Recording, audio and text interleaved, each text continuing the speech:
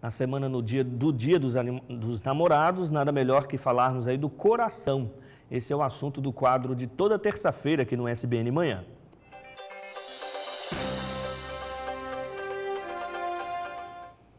Deixando de lado aí um pouco do simbolismo e o romantismo, o coração precisa de toda uma atenção quando o assunto é a saúde. Não é mesmo, doutor? Sim. Bom, vamos, eu vou conversar aqui com o doutor, com o cardiologista Giovanni Cisari.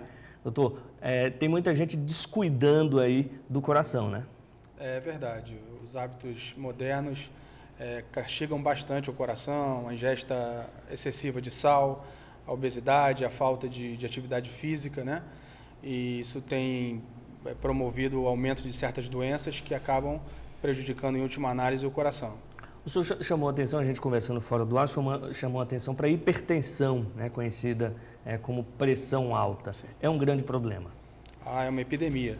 Né? A hipertensão é uma doença extremamente prevalente, ou seja, está presente em todas as sociedades, não, não distingue ricos, pobres, é, classes sociais ou etnias. E a hipertensão é uma grande causa de derrame e de infarto. E essas doenças, que são as chamadas doenças cardiovasculares, são as doenças que mais matam hoje em dia. Então, às vezes, um, simples comprimido que pode é, resolver o problema da hipertensão vai evitar que no futuro essa pessoa tenha um infarto, tenha um derrame e fique com sequelas permanentes. O senhor está me falando, a gente sempre aponta estatísticas assim de morte relacionadas a AIDS, acidente de trânsito, por exemplo, né? E o senhor está me contando que a hipertensão é, mata bastante. É, as... é, no caso, infarto e derrame. Isso, juntos. as doenças cardiovasculares são campeãs. Elas matam mais do que a AIDS, os, os cânceres, doenças infecciosas, ainda estão em primeiro lugar na nossa sociedade, na sociedade industrializada, nos países industrializados, sociedade moderna.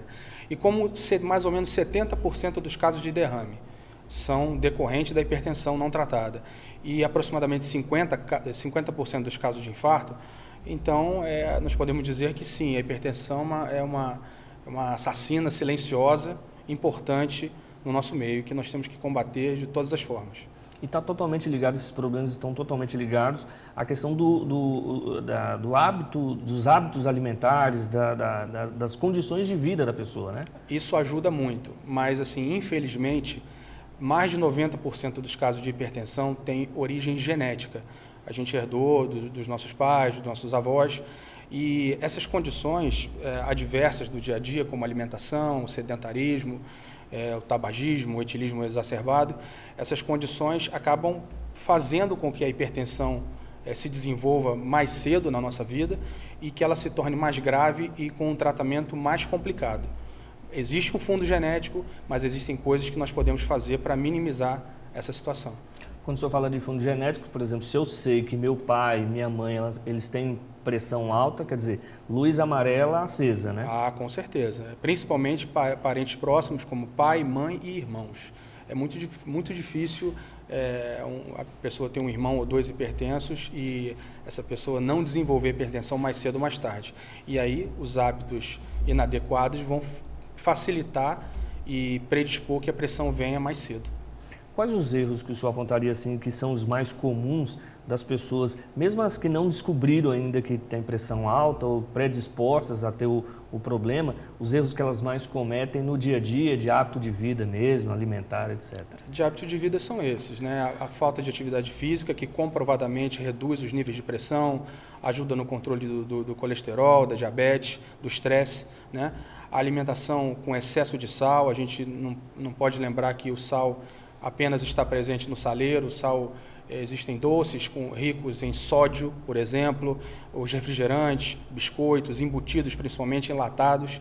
E eh, em pesquisas recentes, nós sabemos que que a, o consumo adequado de sódio de uma pessoa com hipertensão deve girar em torno de 2 gramas dia. Isso um nutricionista, um cardiologista calcula, de acordo com a nossa alimentação. Uma pessoa que não tenha hipertensão, não tenha doença cardíaca, pode consumir até 4 a 6 gramas dia.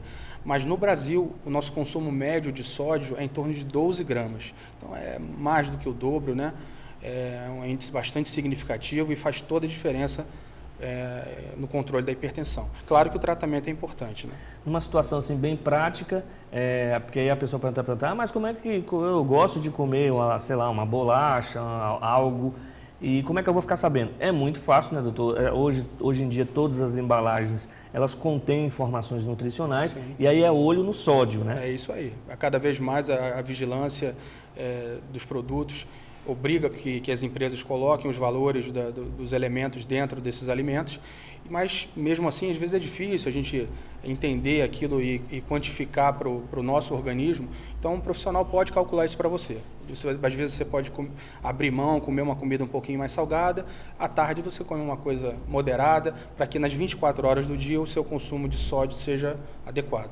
E a gente falou há pouco de mortes, mas esses problemas deixam muitas sequelas, né? As pessoas continuam vivas, mas com sequelas é, importantes, né? É, em resumo, a hipertensão provocando um, um, AVC, um derrame, e a pessoa ficando sequelada ou, ou, ou acamada para o resto da vida, né? E uma vida sofrida para ela e para a família, por, por, por, falta de um comprimido às vezes, ou por comer uma colherzinha menos de sal, é triste, né? É, é uma coisa que pode ser prevenida facilmente.